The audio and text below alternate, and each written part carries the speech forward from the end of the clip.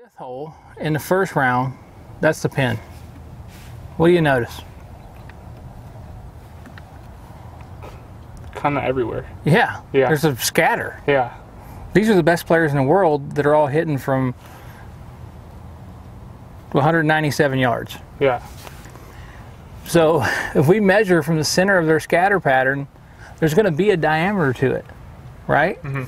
And so if we know the distance that they're hitting from, we can define how big the scatter pattern will be. And we could assume that your scatter is going to be maybe a little better, bigger, Yeah. or worse than the best players in the world, right? yeah. Okay, so Scott Fawcett created a system called Decade, which basically does all the math for you. It says for every given yardage, we're going to have a scatter pattern. And if we know how to move our scatter pattern appropriately around on the green, then we can play aggressively when we're supposed to, and we can play less aggressively when we're supposed to, right? And what would determine that is where the trouble is. Here's a hole location, and I believe this example is from 160 yards. So for most tour players, this is a nine iron, maybe an eight iron, chip eight iron, right? This is, if you aim at the target, this is the PGA Tour baseline scatter pattern. So how many balls were hit really close to the hole?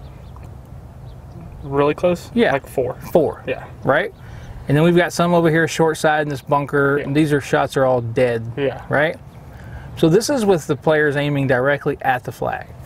If you aim where you should have aimed, based on decade, which is that star, Mm-hmm. how many balls are close to the hole?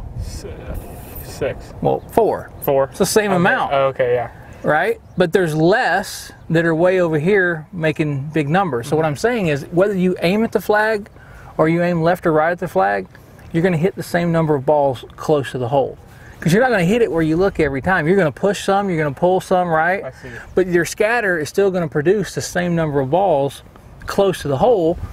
But if we have a reasonable amount of skill, we're going to be able to eliminate some problems. Yeah. Right? There's So- no more of the death ones over there. Right. So if you want to know how far you should hit it or where you should aim, let's take this number for example. And I'm going to call this 100 yards. We'll check the number in Yeah. a second, right? Let's just say it's a 100 yard shot. Yeah.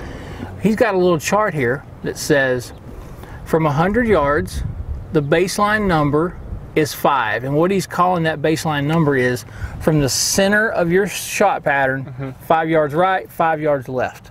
So it's basically if you take your yardage and take 10% of that number, just 10, and you take half of that, that's how you're going to be shifting your shot pattern, right? Yeah. So with this flag, we need five yards right, mm -hmm. we need five yards left to be authorized to aim directly at this flag and fire at it. Do we have that? Yeah. Of course. So we would be shooting right at this pin. Mm -hmm. But let's say this flag was cut four from the right over there. Mm -hmm. Well, now that bunker shot is very penal. Yeah. So we need to shift away from that. So if you look at this little green key mm-hmm. down here, can you see that? Mm-hmm. This diagram is saying there's a pin right down here, and this bunker is downhill, short-sided. This is water. These extra values here are numbers that we would add to the baseline number.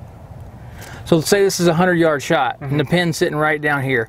Well, because this is water, we're, we're going to take our baseline number from the front, which is five, and add the three. We're going to be playing eight yards deep into that green.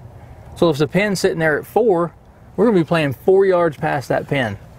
So we would use mathematics to shift our scatter pattern away from the trouble.